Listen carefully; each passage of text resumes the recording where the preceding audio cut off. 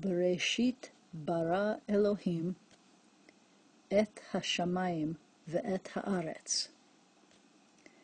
והארץ הייתה תוהו ובוהו, וחושך על פני תהום. ורוח אלוהים מרחפת על פני המים.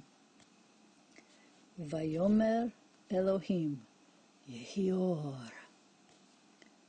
ויהי אור. וירא אלוהים את האור, כי טוב. ויבדל אלוהים בין האור ובין החושך. ויקרא אלוהים לאור יום, ולחושך קרא לילה. ויהי ערב, ויהי בוקר, יום אחד.